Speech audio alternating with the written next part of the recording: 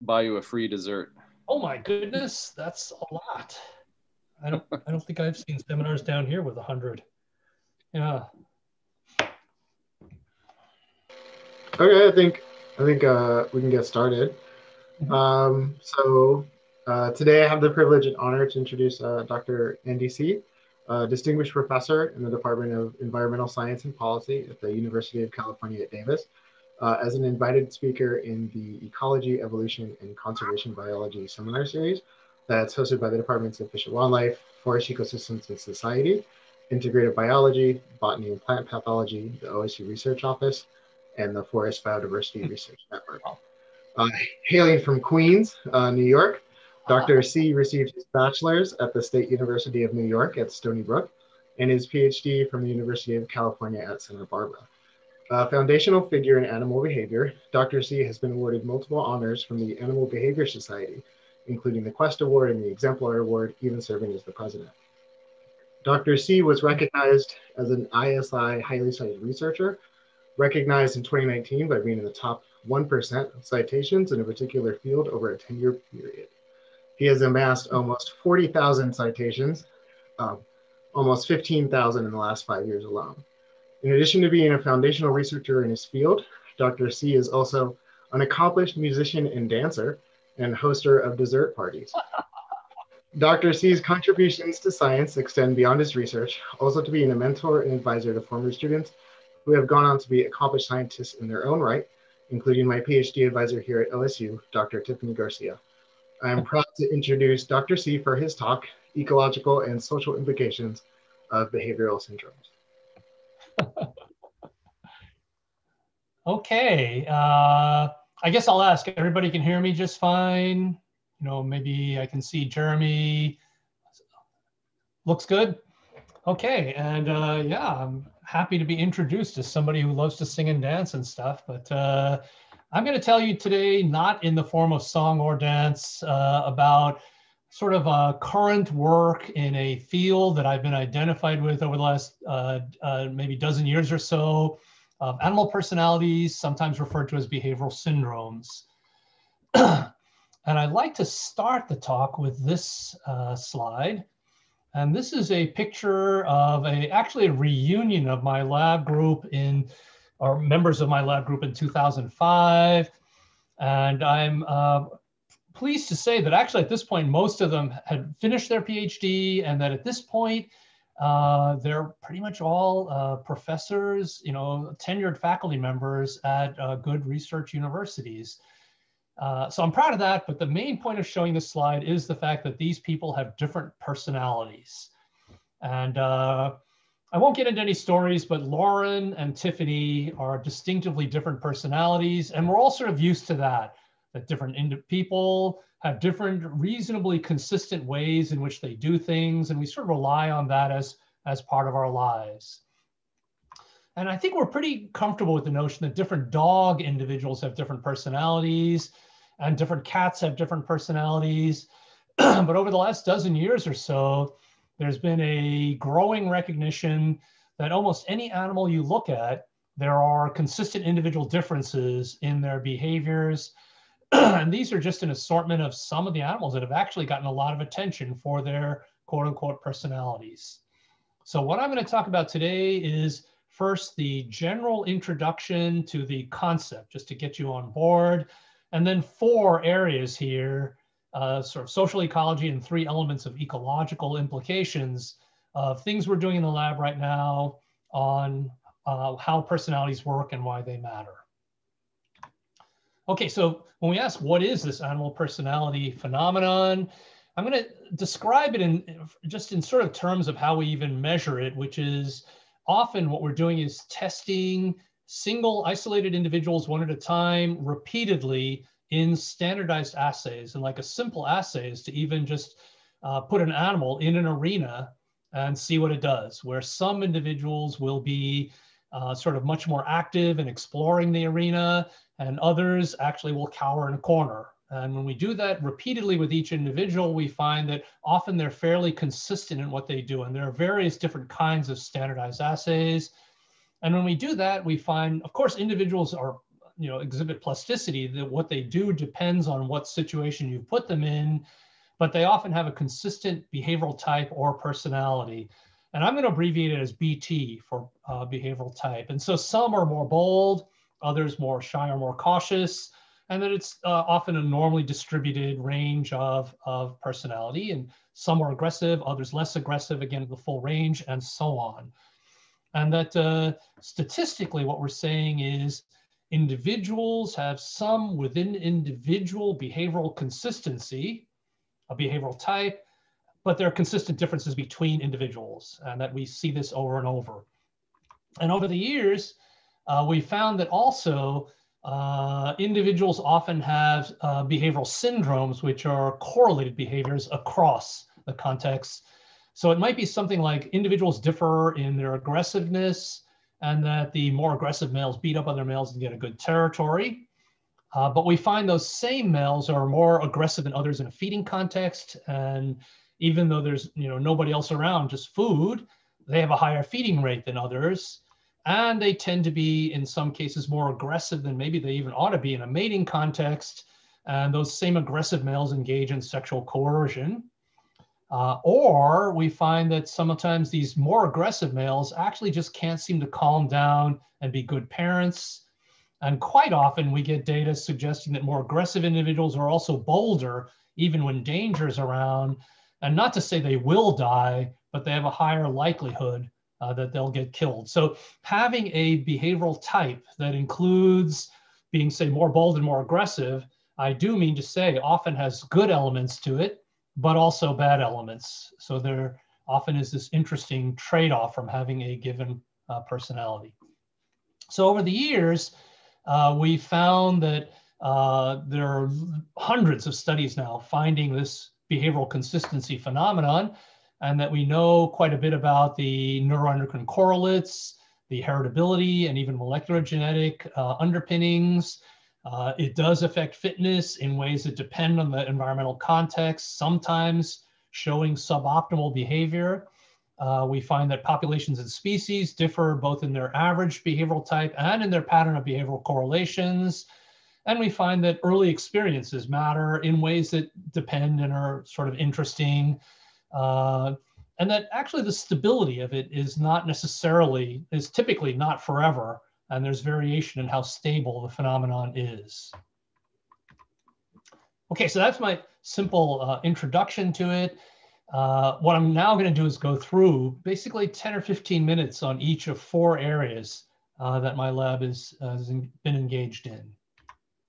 So, social ecology of behavioral types. And what we're uh, acknowledging here is that often for social organisms, it's the interplay of the behavioral types that influences social dynamics and fitness outcomes, where the mix of behavioral types in a group and the overall social environment can have a big effect on how does the group work and how does the how do the individuals fare, and that the particular uh, performance metric we're going to be looking at here is mating success and patterns of sexual selection, individual differences in their mating success. So, and that being a sort of major topic of interest in behavioral ecology. So if we ask what determines mating success, then sort of ever since Darwin, we've had loads of studies suggesting that bigger, stronger males end up with higher mating success. Also, loads of work uh, showing that on average, males with spectacular ornaments uh, is the term often used, flashy stuff of various sorts, tend to have higher mating success. And yet other studies showing that males that have uh, beautiful songs uh, tend to have higher mating success. But one thing that we've actually found out of that is that the amount of variance in mating success explained by these factors that have gotten a lot of attention tends to be pretty low, like 5% of the variance in mating success. So there are other things that are going on. And the recent emphasis in my lab and others is maybe personality and behavior matter. So here I've got the kind of ridiculous thing of I just have a picture of my son and we are at, uh, we're actually at Yankee Stadium together.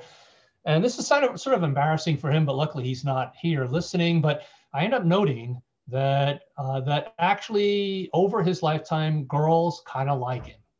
And, uh, and it's not because he is wealthy or he is big and strong. I don't notice particular ornaments, uh, but he is a particularly nice guy. And he just has a really nice personality, and people in general seem to like him.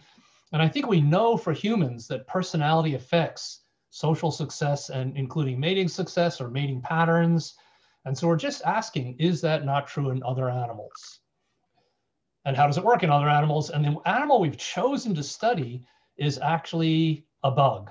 It's these water striders, Aquarius remiges, uh, shown in this picture here. And a cool thing about them is they mate a lot. So they basically have new mating partners um, every day or even several times in each day. And so in a relatively, you know, handleable mating season, you get a tremendous amount of data on mating. And some individuals end up mating like 20 times in a few weeks, others not at all. Uh, and the, the way the mating works is males are very active skating over the surface of waters, in, in this case, in small streams like the picture you see, or the artificial streams here. Uh, and they just spend much of the day just skating around, trying to mate with things they run into. Uh, when they see a female, there's no courtship. They just jump on the female, try to mate with her. And she typically resists very heavily. Uh, she doesn't need to mate yet again because females can store sperm for a few weeks at a time. Typically resist very heavily. They end up with a wrestling match. And we basically think of it as sexual coercion for a male to actually end up overcoming the resistance and mating. And with all that harassment, single females spend much of their time hiding. In fact, they have sort of personalities, they have individual differences in, in behavior, but they're only expressed when there are no males around. When males are around, females are just harassed to where they just hide. But if they end up mating with a male, a male overcomes her resistance, then they mate for the next two or even up to like 10 hours or longer, carrying the male on her back. And the good thing about that is that the female then is not harassed as much and she can actually just feed and do stuff. And they end up spending roughly half of their time uh, as adults during the mating season in the physical act of mating. So the main point, I guess, is that they do a lot of mating and we get a lot of data. And so what we've done is a series of experiments over the last actually 30 years now, where we manipulate all sorts of stuff about groups that we have put together. And number two there is we manipulate lots of factors like group size, sex ratio, predation risk, food levels. And more recently, we've uh, manipulated the group's mix of behavioral types in a given pool. And for each experiment, we tend to observe uh, the animal somewhere on the range of 50 to 100 times per individual. And each observation quantify its behavior, its activity level, its aggressiveness, its feeding, uh, and importantly, its mating success. Is it mating? Who is it mating with? And so on the bottom there, I, I show a whole bunch of just sort of the relatively recent papers on this. And what I'm going to do today is just summarize some of the main stuff that we've come up with of interest. And the we includes um, some of these people uh, in, uh, shown out at our artificial streams where we can control the experimental groups more easily. So if we ask, do male water striders have a personality type like my, like my son? Uh, and in fact, they do. So uh, I actually have that band on the bottom there that covers stuff at the bottom. Do you guys have that band? I don't know if anyone can uh, speak up and tell me um, we do not. We see yes, behavioral repeatability, R equals 0.44. Okay, I actually don't know how to get rid of that band, but hopefully in most cases I know what's there because it's covered up for me. But yes, water striders do show uh, repeatability, and this is just one of the studies found that repeatability score. And that's the kind of repeatability people find in other studies of personality. In fact, it's the repeatability level of your behavior. Uh, so individuals do differ in their activity and aggressiveness, and those differences do affect their mating success. So this is just one of many data sets in which, and I'll be generally showing you these coefficients, effect sizes from mixed models that in this case says their activity aggressiveness level is affecting their mating activity quite strongly and positively, above and beyond all sorts of other stuff that affects their mating activity. And it's basically the more active, aggressive males mate more, basically because they are more active, in particular in the places where most of the mating is occurring. So that's straightforward. Uh, does their behavior and mating success also depend on the social environment? And yes, of course it does. And in particular, in this system, it depends on the presence of what we've called hyper-aggressive males. So I'll use HAM as the uh, acronym there. And uh, the hyper-aggressive water strider males are males that are so geared up to try to mate that they jump on everything and try to mate with it. So they jump on females and struggle with them and try to mate with them, but they jump on males and try to mate with them. And that often results in sort of endless wrestling matches because males don't want to mate with that guy, but they jump on large juveniles, they jump on other species, and they've even been seen apparently mounting and attempting to mate with the dead crickets that are floating on the surface of the water that would be food for them.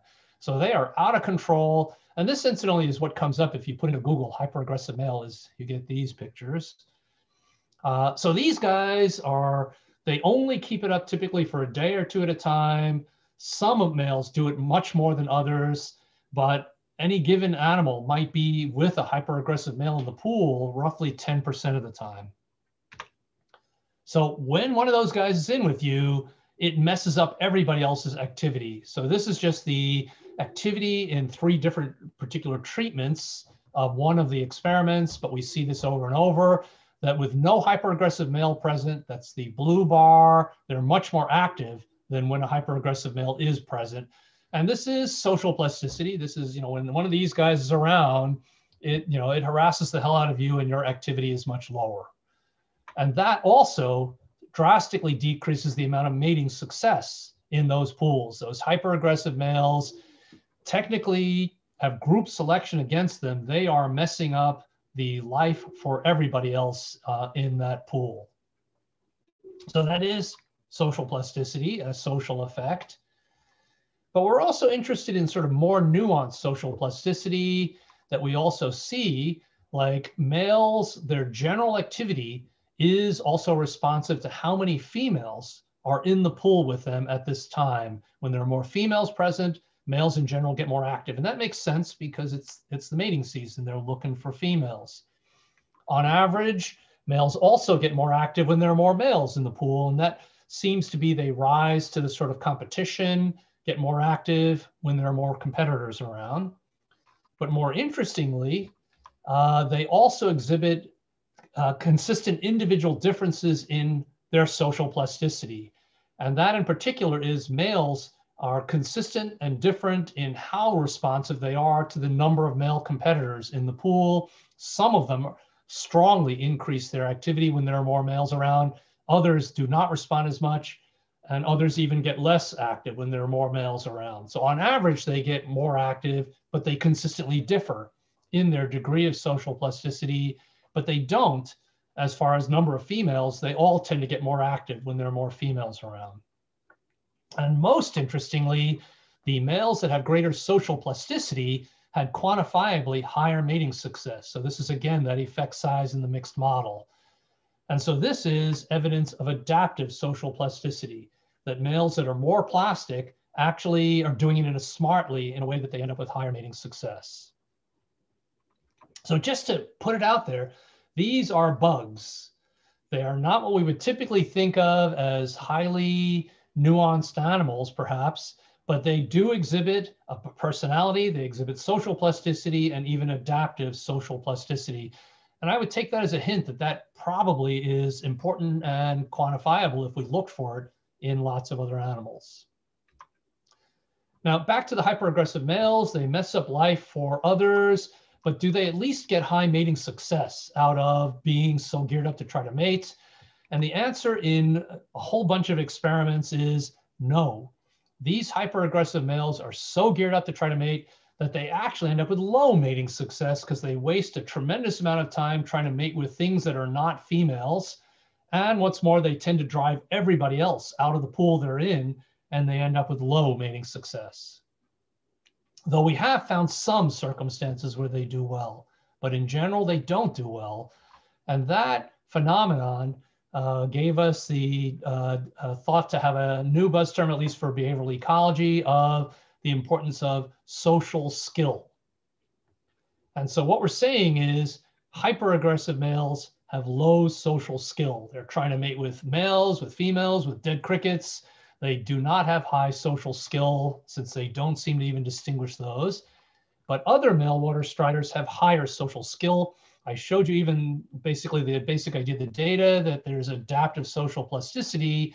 We also uh, have data showing adaptive social situation choice, where some males actually are quote unquote smarter than others at quickly realizing the sex ratio and social situation in this pool is not good. I'm going to leave and go to another pool. Whereas other individuals tend to not pay much attention to the sex ratio in the pool, stick around, even though there's a lot more males than females, stay there. And the males with higher plus just tendency to be doing social situation choice actually end up also having higher mating success.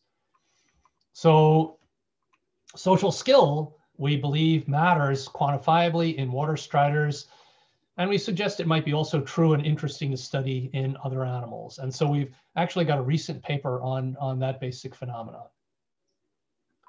So that's going to be what I'm going to say about this aspect is uh, social dynamics of personality and sexual selection. Going to move to part two, which also has, uh, I think I'll just skip this slide that just says there's interesting social dynamics going on. I, I forgot that I had added that in, but the next issue about social ecology of mixes of personalities and how it could be important is with disease transmission. And so this is obviously like a major topic uh, for all of us right now for COVID, uh, that social interactions, social dynamics are influencing disease transmission. And I think it's probably highly likely that behavioral types, personalities, and mixes of personalities in humans influences the social dynamics uh, uh, and social effects that influence disease spread and it turns out that we have been studying this basic uh, issue for quite a while in other organisms. So our basic uh, flowchart is parasite loads, parasite transmission dynamics depend on social networks. And those depend on the movements and space use of individuals that depend on their personalities, uh, but also depend on the mix of behavioral types and movements and space use of your neighbors. And that's our overall framework uh, for, I think it, this would be interesting to study in, uh, for COVID and uh, actually a huge, huge natural experiment going on right now for all this in COVID. But we've decided to study this in the sleepy lizard shown here. And it's a pretty big lizard. It's a, almost a kilogram. Uh, and uh, they, they're super cool. And they're in Australia, pretty abundant there. And they have ticks. So uh, the we uh, started out when Michael Bull uh, invited me to join his team studying this. Stephan Leu was one of the early uh, people we collaborated with and still collaborating some. And that's actually my wife, Kate, uh, also out there helping us with the field work. And the key is these lizards are big enough to carry GPS units uh, and with you know even other equipment on there. We can catch them easily. We can assay their behavioral type in controlled assays. And the key is in an area of about one and a half kilometers square, there are roughly 60 or 70 of the adults, and we can capture all of them so that we can get the full social network uh, by actually tracking all the animals in the entire area all the time during the entire active season, year after year. And we also quantify their ticks. And the we in recent years has also included Or Spiegel, who I think is a major figure in personality and movement ecology, and uh, David Sinn and Eric Payne. And so here's the kind of stuff that we've got is uh, to begin with, these lizards also have personalities. And this, this is boldness and aggressiveness. So this is the repeatability they exhibit is the typical repeatability levels for both of them. And what we've got is the interesting thing of even uh, consistent personality uh, coming up across multiple years Uh, and that's relatively unusual to actually quantify that for field animals over even as many as seven years, that their uh, behavioral types are reasonably consistent. They are also consistent even across multiple years in their space use, in the size of their home range, the size of their core home range, in their home range fidelity, which is some of the individuals consistently move from year to year to be different places, and others are consistently in pretty much the same place from year to year. Uh, we've also got a bunch of data on their movement syndromes on very detailed things that movement ecologists look at about their space use. And again, they show consistency in that. And here, interestingly, they show statistical consistency uh, in their tick loads, again, over multiple years. So this would be like asking, do some of you have colds more often and others less often? And do we have data on that for year after year? Uh, so we've got that for ticks. And the answer is yes, there is statistical consistency across long periods in their tick loads. So how might that all relate? So we're thinking tick load relates to social networks, that relates to movements, that relate to personality. So here, here the data on it is we do have, and this is just one of many slides that I could have put up from multiple years of looking at it. And this is one of our smallest data sets on it, but I happen to have the figure is, yes, social connectivity, tendency to be near other lizards is related to their parasite load, their tick load. And the social connectivity reflects shared refuge use, that is sort of the bushes they hide under overnight or when it's really hot, which also reflects their general shared space use. For the shared space use, uh, we're doing the movement ecology, where we basically have um, huge amounts of GPS data where we track every individual in the entire field site and every step they take. Uh, again, for months, year after year. And this is this is actually a picture of the field site where all these little white spot squares and black squares are the fact that we've mapped out the food and refuge uh, throughout the field site. And these three are just three of the animals that actually have relatively large home ranges. So out of all that comes the task of doing gigantic Bayesian statistical analyses on a huge amount of data. And Or's uh, et al.'s paper uh, on the first batch of years of data shows this. So this is just the summary of factors that matter in terms of where do they tend to spend their time, where do they where do they go, and in the early season when it's still cool and wet out there, uh, they of course are near you know the proximity to the home range center explains. That's why they're there more. Even by definition of the home range center they don't seem to pay attention to where there's more food or better shrub cover or refuge from heat because there's food everywhere and it's not hot. But they do strongly, and that's what the negative negative is meant to uh, be. I guess I can use my cursor here, is they do tend to avoid other lizards. But later in the season, when it's dry and hot, of course, they still tend to be near their own home range center, but now they spent they definitely tend to be where there's more food, they pay attention to shrub cover and in particular good refuge from the heat. And they still avoid other lizards, but less so. So out of that, we do have the data on if they have shared habitat preferences, that will tend to increase their connectivity. But if they avoid conspecifics, that tends to de decrease their connectivity, their social connectivity. The key then is all of that depends on their personality. Uh, and so what we get out of this gigantic analysis is the general thing that less aggressive lizards tended to be more responsive in the sense of being more attracted to places with food than the more aggressive lizards, more attracted to places with good refuge than the more aggressive lizards that tended to be more like they're just kind of cruising around. And so those ought to have more shared space use with other less aggressive lizards in particular uh, in the sites with more food and better refuge. But we also see that bold lizards have larger home ranges, and in general have greater spatial overlap with other lizards. So we end up predicting from all this that more bold and unaggressive lizards would tend to have more ticks.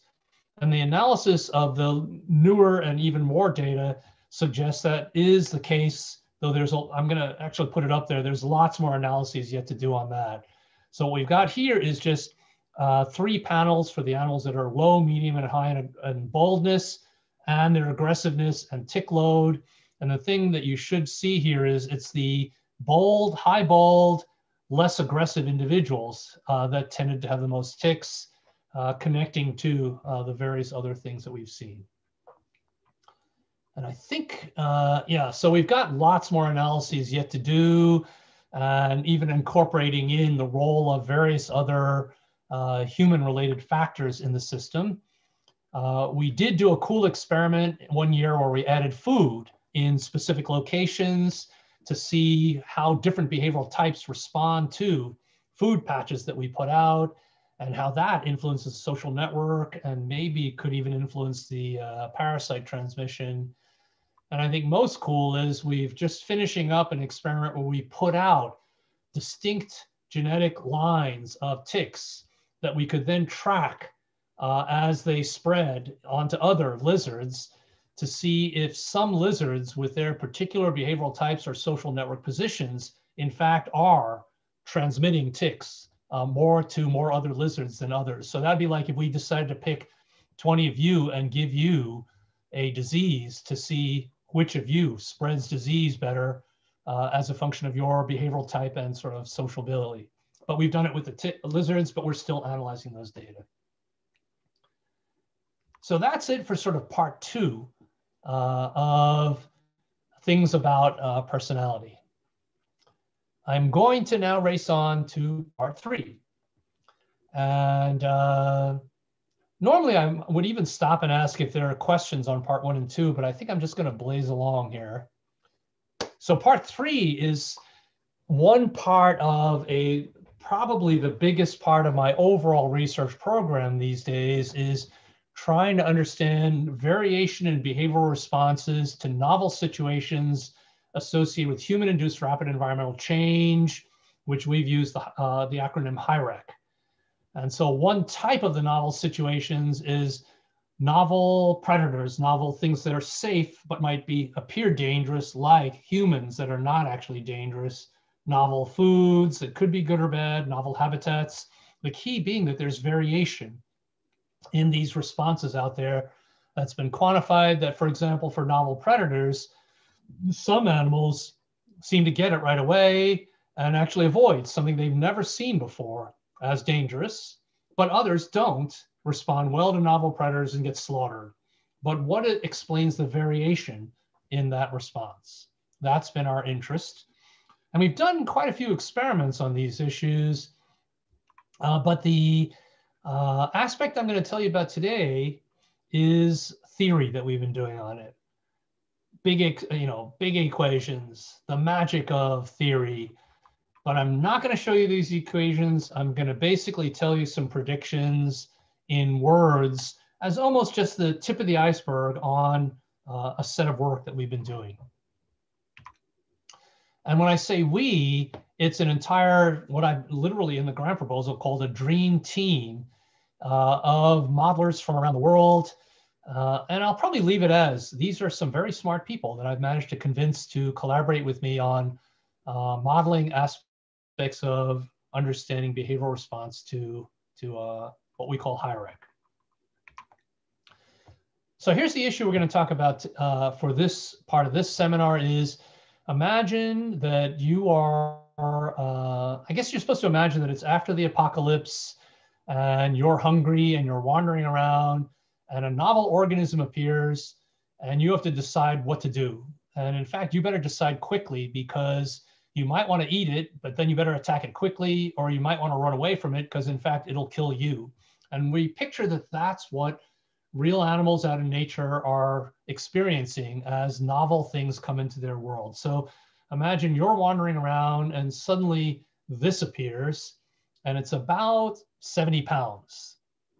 So normally if I give this seminar, I would ask you to raise your hand uh, if you would try to eat it and see typically that if some people would try to attack it and eat it, and I'd ask you how many would try to run away from it, and others would say, yeah, I don't know what that is, so I'm gonna run away. Uh, but our basic suggestion is whatever it is, you better do it quickly uh, because this is the kind of thing that could be really important uh, for real animals in the real world. and that it's your personality that's going to partially uh, affect what you do. But what we've been doing is modeling why organisms might do one thing or the other using signal detection theory. And it's a well-established set of models, mo a modeling approach uh, that we added state dependence to, where you basically simplify the world into things are happening and you see something, but it's a, either a good or a bad option. So it's either safe or it's dangerous. It's either food to eat or it's poisonous stuff that you shouldn't eat. And the problem for uh, all of us is often we don't know for sure what's what, and we use cues that might be imperfect to try to decide is this safe or is this dangerous? And our response depends on sort of an evolved response threshold, or perhaps a learned one, where if you're thinking about is it something safe or dangerous, uh, and it's basically should I run away or not? If you have a low threshold, then you flee more readily, and that kind of means you're cautious, you're fearful. And if you've got a high threshold, then it takes a really dangerous cue uh, for you to run away, then you're more bold. Uh, on the other hand, if it's talking about food, then if you got a low threshold, we're saying you feed more readily, you're voracious, and a high response threshold is you're really picky it's got to really look good before you would actually try to eat it. And that signal detection theory has cost benefit aspects and informational aspects to figure out who should have what kind of threshold. And we use that to predict things about uh, responses to novel organisms. And the basic premise is this simple thing that if you're too bold, then you will not avoid situations that you should avoid, like dangerous predators that, uh, that you should have avoided. On the other hand, if you're too cautious, you would over avoid situations that can be safely ignored, but you were too cautious and you wasted a ton of time. But why should you be too bold or too shy is a combination in the models and in our logic basically of the personality that you have, bold versus shy, that was a, uh, sort of a previously adaptive, and we're calling them now cue response systems that were shaped by past trade-offs and selection pressures on being more bold or more shy, but combined now with misinterpretation of novel cues, it, which is a core part of signal detection modeling. And I do give a seminar that's a full-length seminar on all these models that we've been doing, where I sort of describe how this modeling works in more detail. But here I'm going to just jump to here are some of the uh, logic predictions, logical predictions is why would you respond poorly and possibly get slaughtered by exotic predators? Could be because your past selection shaped you to be bold and thus, you know, not so responsive to things that come in that you're not sure what it is. And that would be, uh, you know, almost obviously enough if in the past your familiar predators were not that abundant and or not too dangerous anyways. So you know, you know, not too dangerous a world, you're bold.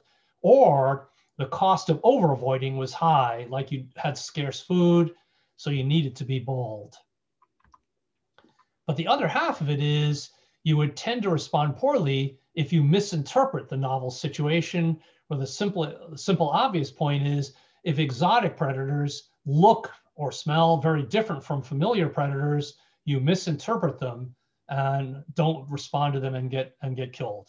But on the other hand, the modeling also suggests that you'd be more likely to misinterpret if in fact past predators and non-predators were very easy to tell apart because then we refer to that situation as you're sort of an expert you're overconfident you know what's safe what's dangerous that in fact those organisms are actually going to be uh, potentially more quote unquote stupid in a novel situation that does not match their previous world.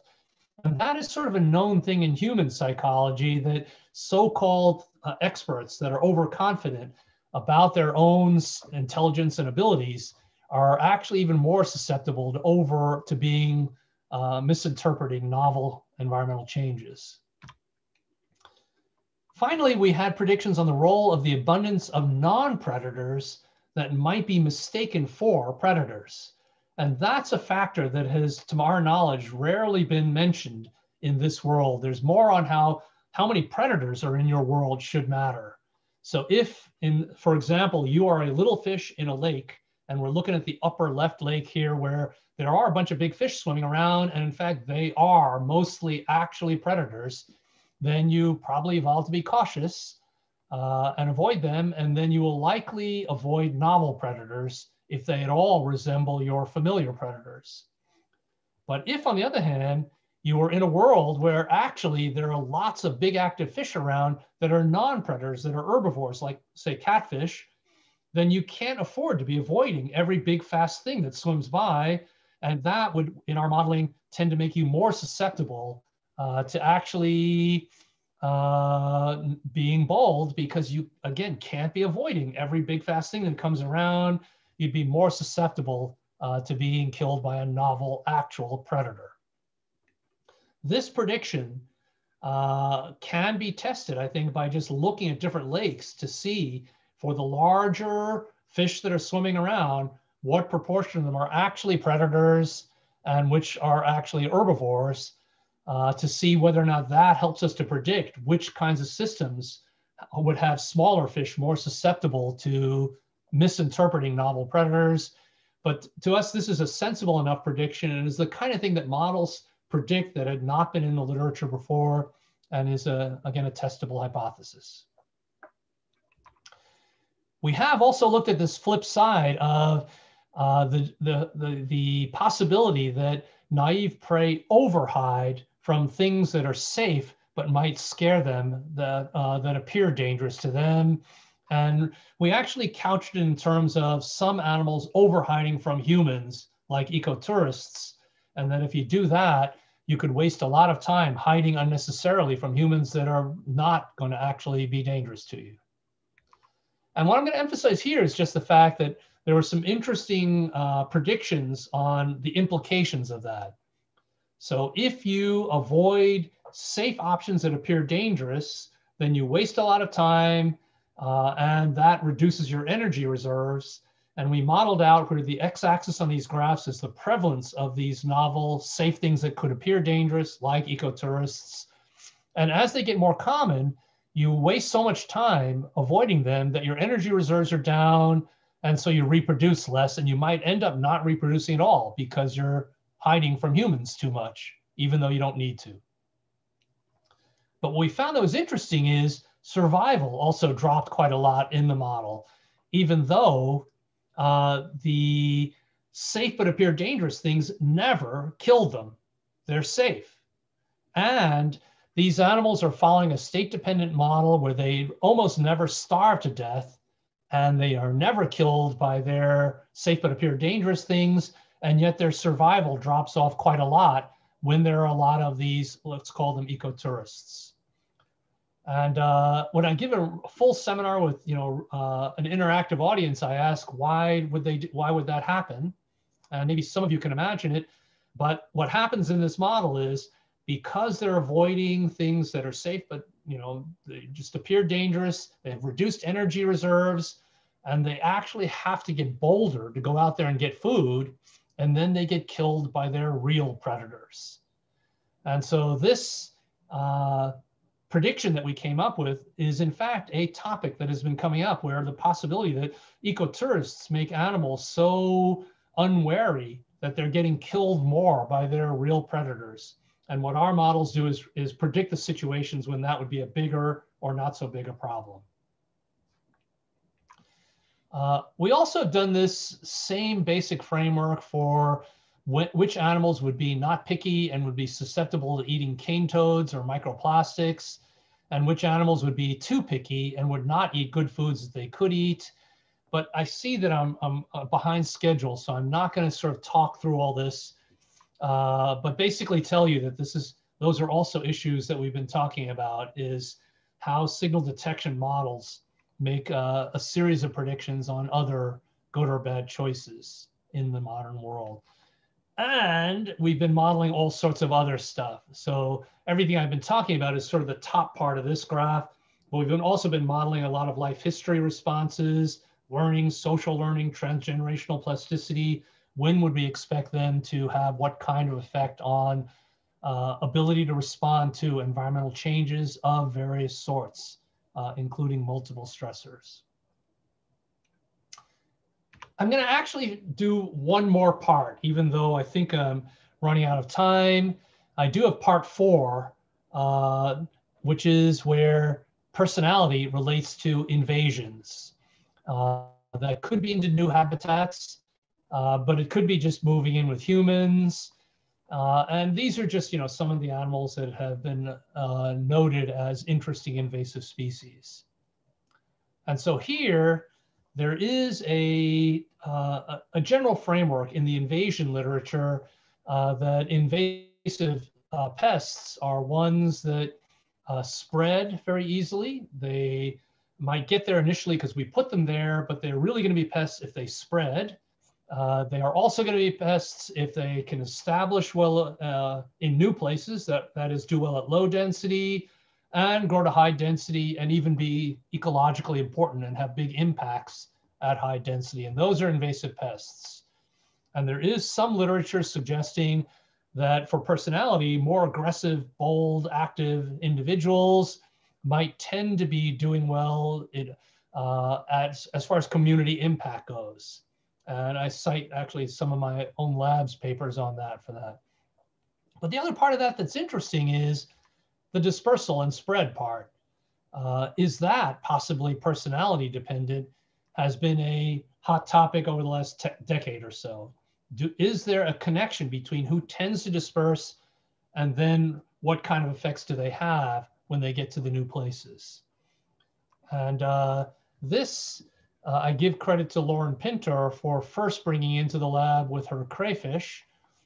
Uh, uh and, and, this general sort of idea that if you had a source pool with bold and shy individuals, BNS uh, for bold and shy, that you might not be surprised that it's the bold individuals that tend to disperse. They're bold, they're not scared of just sort of going out into the unknown and ending up getting to new places. It doesn't have to be that way, but it could be.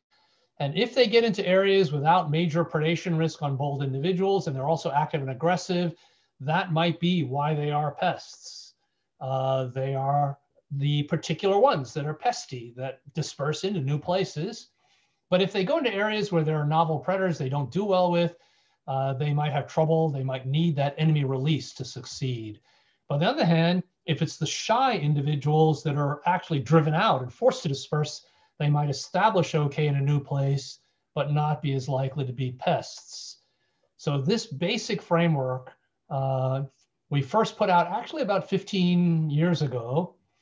And uh, it actually got into a New York Times article uh, where the a reader uh, wrote to me and said, you know that that is the America story, as even exemplified by this book, uh, um, the American mania hypothesis.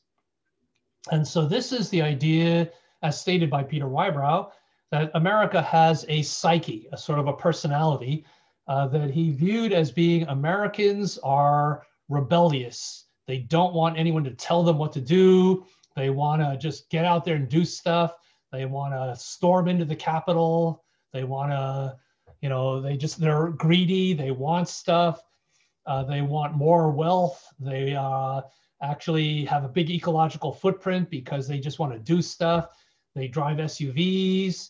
Uh, they eat too much. They get obese. And that's America.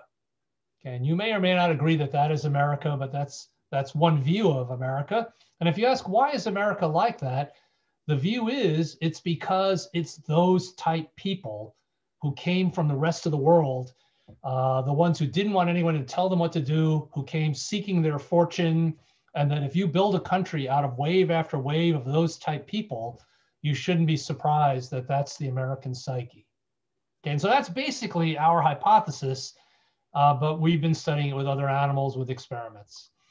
Uh, actually bring this book up because this is a much more nuanced book than the P Peter Whybrow book, noting that America is actually 11 different cultures, but still suggesting that each one is set by the historical roots of the type of people that came there and why did they come there, uh, uh, show, uh, influencing the different sort of uh, even regional personalities.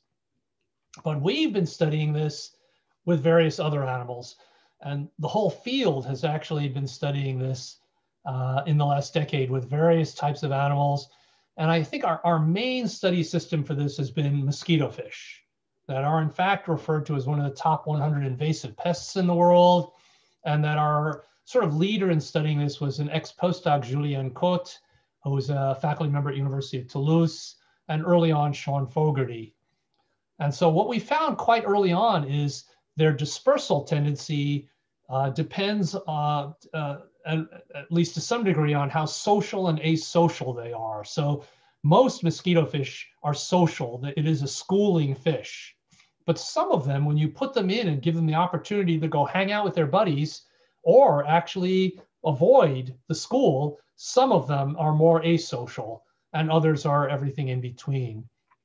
And what we find is the sensible enough thing that dispersal and performance are a combination of their behavioral type dependent and context dependent, in particular density dependent. Uh, though we've also found that it's predation risk dependent. So what we find is that at high density, social individuals actually do better than asocials in both feeding performance and anti-predator performance. And asocials don't do well at high density. They don't seem to like it and they disperse uh, sensibly enough. But at low density, we find that asocials actually perform better in foraging and anti-predator uh, trials. The, it's the socials that don't like it at being in low density and they disperse. And this there's a whole bunch of papers on this over the years. And when we put this into a model, uh, we find the following as a conceivable dynamic that if you start with a population that has, this is a cartoon of the model, uh, start with a population that has asocial and social individuals, you know, A and S, that it's the asocials that don't like this big group, they leave and they colonize the new habitat. And in fact, social individuals wouldn't even colonize these new habitats because there's nobody else around they don't like low density. But the very uh, settling of the asocial individuals sort of facilitates socials then joining them and then density gets too high and the asocials leave, colonize new habitat, and facilitate socials coming in and so on. So at least in the model, asocials facilitate the invasion of the socials, but socials keep the asocials moving on. And it's this mix of behavioral types that has the most sort of biggest, most successful invasion.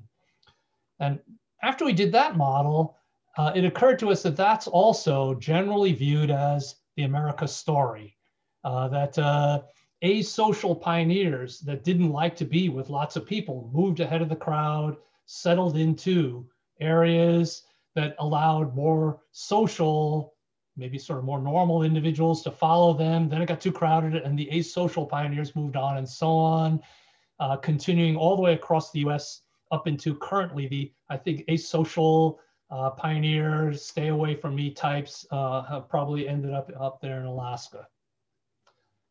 Okay, and we've actually even talked to historians some on whether or not we should use our models to work with them on uh, sort of understanding America. But the last part I'll tell you about this is, do the dispersers actually have different impacts on a community that they get into than the residents who don't disperse? So here we did a dispersal assay in our artificial stream, put a bunch of fish in, in the first pool, and then come back a few days later. Some stayed up there, but others by a few days later had dispersed all the way down to the bottom pool, which, you know, others were in the middle there, didn't have to go all the way down to the bottom. But we then take those individuals that have self-sorted for us and put them in mesocosms for a month and look at what effects they have on mesocosm communities. And we've done a few of these experiments. So I'm just showing you one that is a published data set uh, where what I'm showing in the left panels is the invertebrate density and diversity a month later, uh, where the black bar is what do you see in the mesocosms where he added the resident non-dispersing mosquito fish versus the red bars being the ones that disperse down. And what you can see is the invaders that dispersed all the way down drove the invertebrate density and diversity to lower levels. So they had a bigger impact on the prey community and that it seems to relate to their sociability. So on the right panel, we've got how social asocial on average were the individuals and that the pool, the pools, the replicate runs that had individuals that were more asocial tended to be the dispersing pools, and they ended up also driving invertebrate density lower. And we've since done other experiments where we've even gotten into more detail on what about the social dynamics of, of these groups. So to finish up the overall seminar, uh, I'll just say that the current work on mosquito fish uh, gets into the social dynamics of the mosquito fish in more detail. And it's uh, work for the PhD, uh, a couple of just finishing up PhDs by Amelia Munson and Leah Polak shown in the red box, looking at how the social mix of behavioral types affects how they respond to novel foods and novel predators. And for that matter, looking at how early exposures to different environments, including multiple stressors, affects their later behavioral type and physiology and life history, and for that matter, even gene expression patterns on the radar. And I, I, guess I do finish up by noting that this connection between personality and dispersal should be important for anything about spatial ecology, not just these invasion dynamics, but anything about reintroductions, use of reserves, use of corridors, metapopulation dynamics, gene flow, and so on. And I think is largely understudied, uh, but has potential to be interesting and important.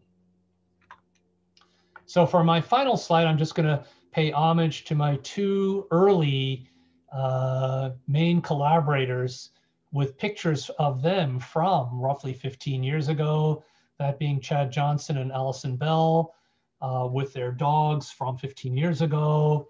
Uh, and then I have this picture of me with my fish. Uh, so uh, I guess that's it for my seminar. Uh, and actually, what should I do? Should I just uh, leave this up and then, you know, that was kind of a barrage of stuff, I guess, but I'm happy to take questions either via chat or people just unmute and speak up. Or I don't know if your tradition is that Chris or or Jeremy read out chat or whatever you do. I'm happy to talk about any of these four stories crammed into one seminar. So what's next? Yeah, we have a couple questions. Yes, sorry. Okay, yeah. Yeah, thank you very much. You know, um, I, I gotta ask also for the feedback, like, is that too much to, like, to be honest, that because I've been doing this for the last 15, 20 years and my lab is so big, this is still like I chose four of the things going on in the lab but maybe four is too many. Is that like just too much to put in one seminar? And I should have only taken two or three and developed each of those even more. Or any feedback on that is also welcome. Like it's just, uh, but anyway, what questions do you have? Andy, just never leave out the water striders. That's all I ask. Oh yeah, okay, right. No, they're they're cool, and yeah, and they mate so That's much. That's my bias. Let's see, uh, maybe the first question from Cheyenne. She asks, from the water strider experiments, does the number of hams in a pool increase once one is present? Or do they start to fade from a population once decreased fitness is realized, if it is realized? Uh, that's right. So the more detailed thing is, uh, I think I did note that the, the hams, hyperaggressive males, only keep it up for a day or two at a time, typically, because it's probably exhausting. I mean, it's literally cool to watch them they're on the water there. And once they get into a pool, they madly dash over. As soon as anything moves in the pool, they dash over there and beat the hell out of it. And, uh, you know, it's kind of tiring to do that. And after a while, they've driven everybody else out of the pool. And then eventually, after a couple of days of that, they seem to calm down. But some of them flare up and do it again, you know, another few days later.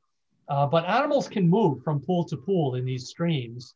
So what they're doing has also this element of animals leaving, animals coming back, hams exhaust everybody, then they leave, you know, and so on. So it's it's a it's not as simple as they're there and everything collapses and the group literally dies out from no mating. It's uh it's a much more cool dynamic sort of situation.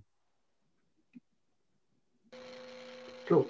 thanks. And uh, we had another question uh, from Tal. Uh, so in signal detection theory, it sounds like personality, which is relatively fixed, dictates optimal behavior. But what about something variable like energy reserve state? That is, if you're hungry, you Yeah. take greater risk.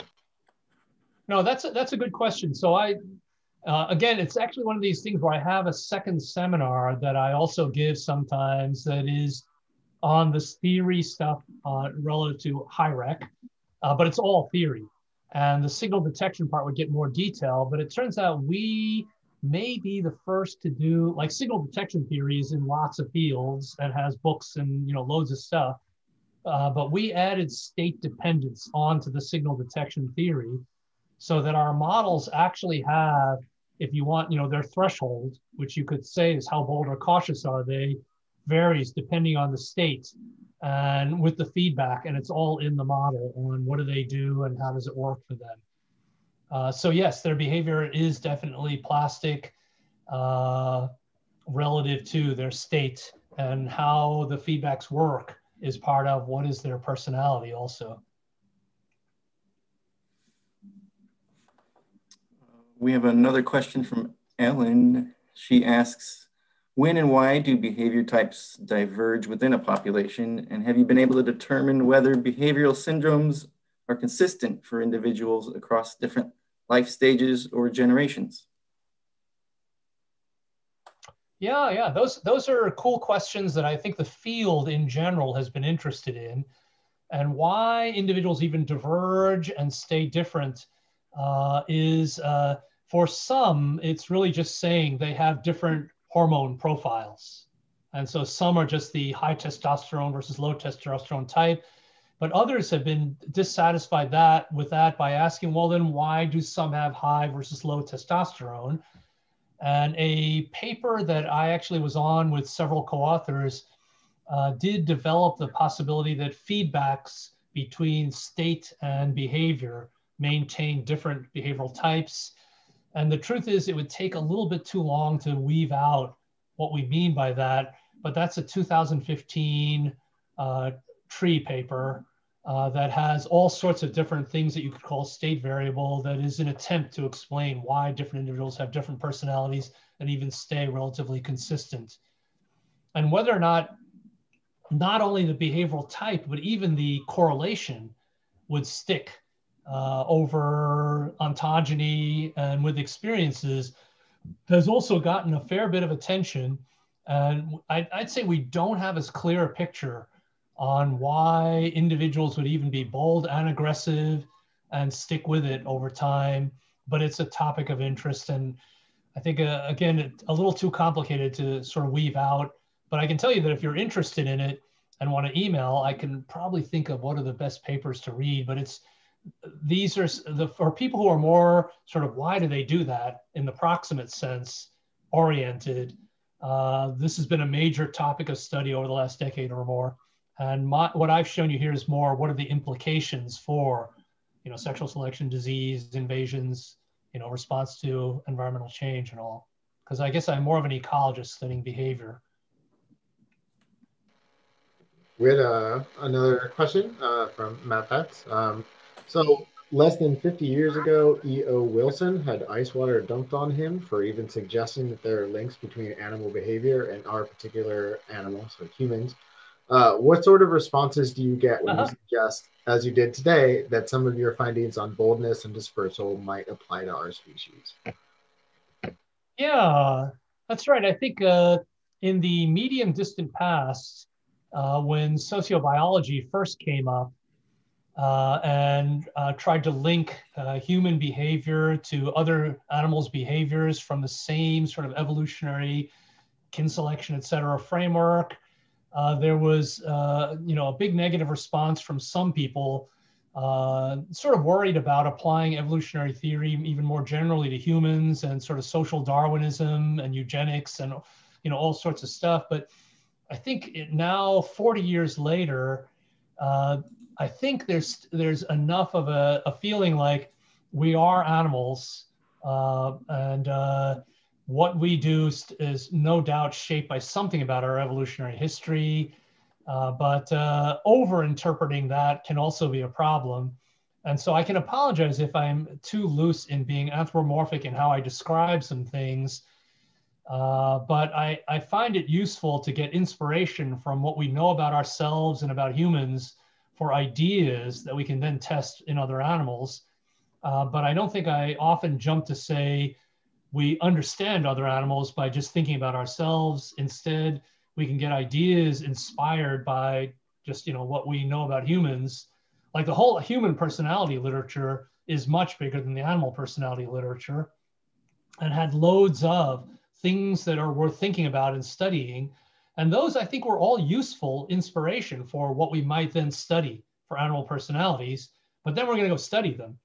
And actually come up with a lot of new ideas that even have then spilled back over to the human personality study as these could be new perspectives that they hadn't thought of that the sort of behavioral ecologists are coming up with.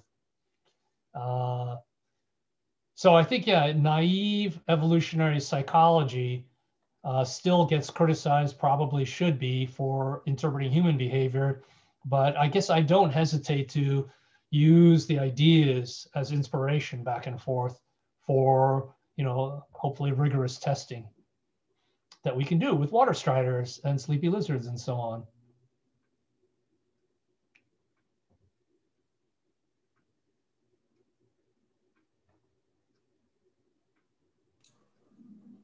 Uh, I think if we have time for maybe another question, uh, how can understanding the personalities of invasive species help predict their influence on native systems? Or do you have an example?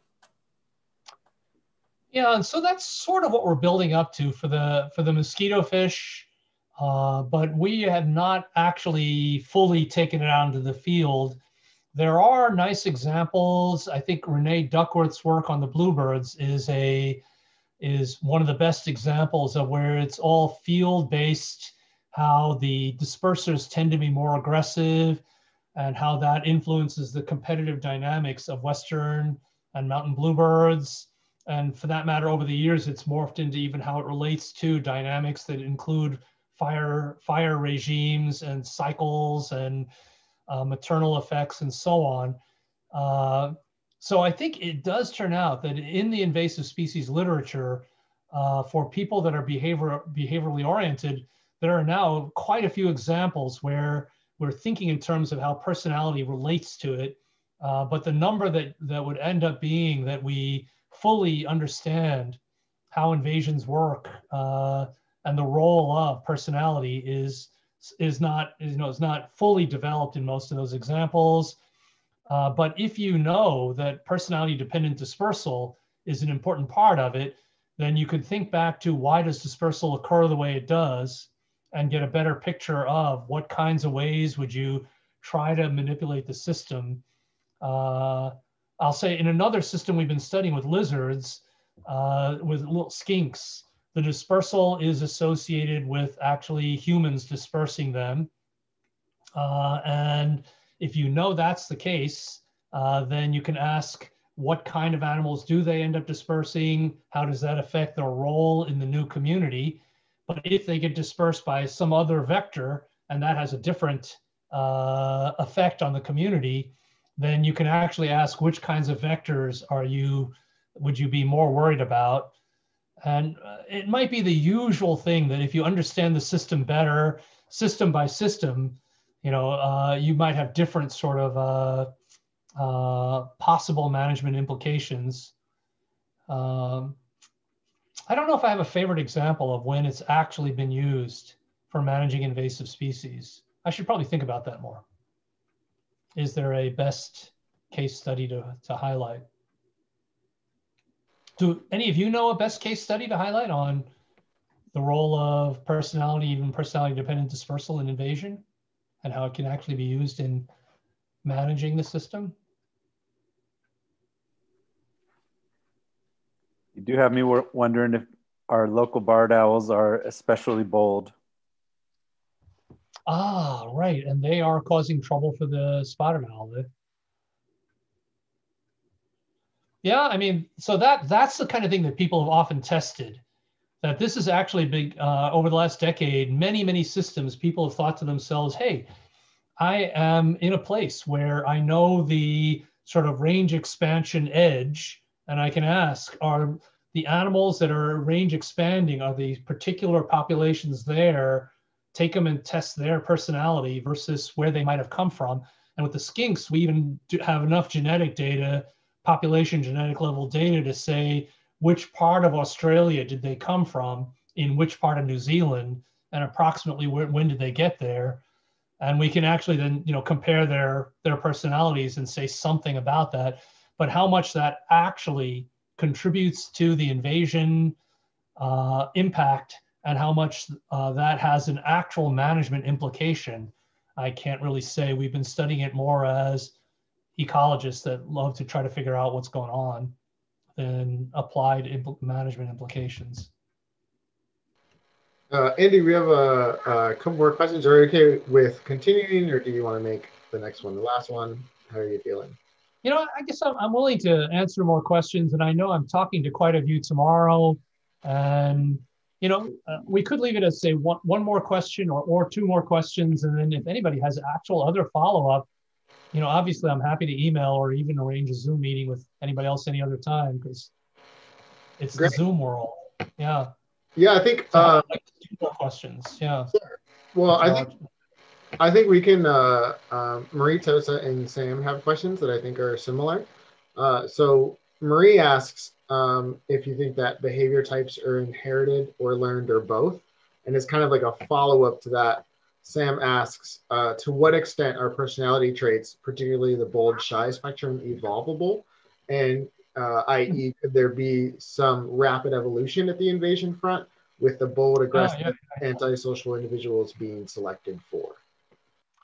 Yeah, that's right. So all of those sources are, and it's almost like uh, many traits that are plastic share the same thing is they do evolve, they have plasticity, and the plasticity is shaped in part by the early experiences and also often by transgenerational plasticity.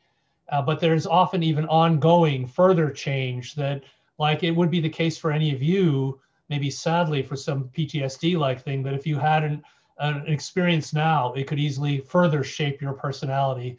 And so that's been, that's a ongoing hot topic is uh, the evolution, transgenerational plasticity, early experience effects, and recent experience effects on the personality that individuals have now that then affects how they respond to, for our studies, even novel stuff having to do with uh, environmental change, like novel predators, novel, you know, fish that eat plastics, you know, and stuff like that.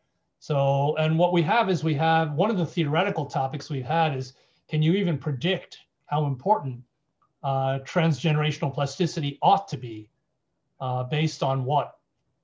as opposed to just measuring that, oh, yes, it happens in my system. What would be a framework for predicting how important should it be in influencing traits and then in influencing the response to environmental change? And so that's a paper that's you know in review right now with a bunch more modeling yet to come out. So maybe I'll, I'll say thank you for your for your attention and I'm open to other uh, comments, including whether or not I should actually kick out one of those four sections because there's like too much in this seminar. I didn't even time it, but it seemed like it was about 55 minutes instead of 50 or something like that. But I'm, um, yeah. So thank you for your attention and for inviting me. Thanks so much, Andy. That was great. Yeah. Thank you. And uh, talk to a lot of you tomorrow. Yeah. Thanks, Andy. Appreciate it. I thought it was great the length it was. So that's my vote. cool. Yeah. All right. Thanks much. All right. Thanks. Okay. I guess I'm gonna. I guess I'm gonna.